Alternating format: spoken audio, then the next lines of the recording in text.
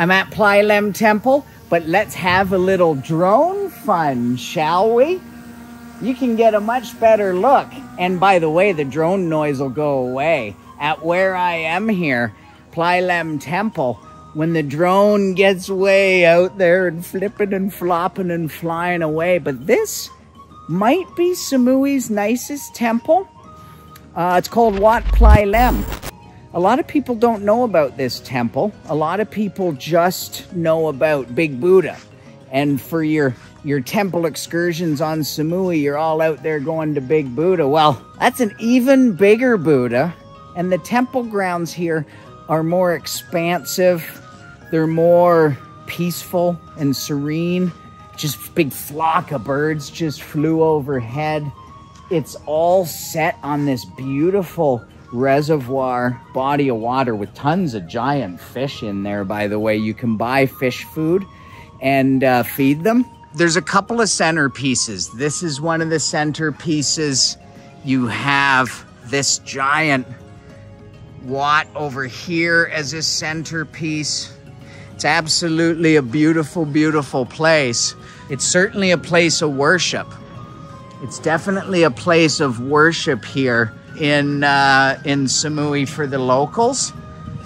But as you can see, it is, I'd say it's more beautiful than uh, Big Buddha. I would recommend a visit to Wat Plai Laem. Again, we're not in Chiang Mai. You're not going to spend a whole day at temples in Samui generally. You're probably a little too inebriated on the beach beers anyway. But uh, if you want to get out and uh, see a couple of temples. There is a pin for Big Buddha. You can feel free to click on that. But don't ignore, whoa, look at the size of those fish. Woo wee. Yeah, little fishy fish. But don't ignore Wat Plai Laem.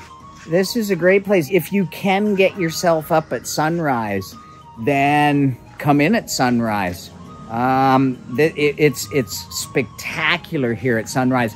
We're kind of mid late in the day. It's a little cloudy today. It's still an, a, a, really really beautiful place, but uh, if you really want a special experience here, come at sunrise. Whoa! Look at the birds. Check the birdies out. So it's a really nice place one that I would highly recommend.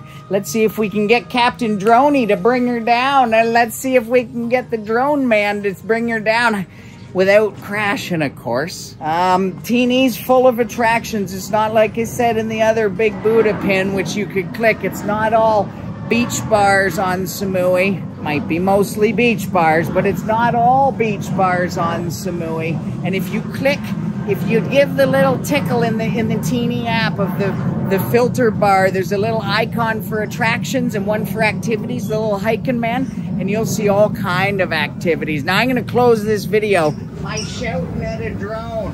Hey everybody, there's people looking at me like I'm a madman over here, but I like talking to drones for some strange reason. Thanks to my drone pilot, Adam, for showing us Plai Laem in all its glory. Come and check it out next time you're in Samui.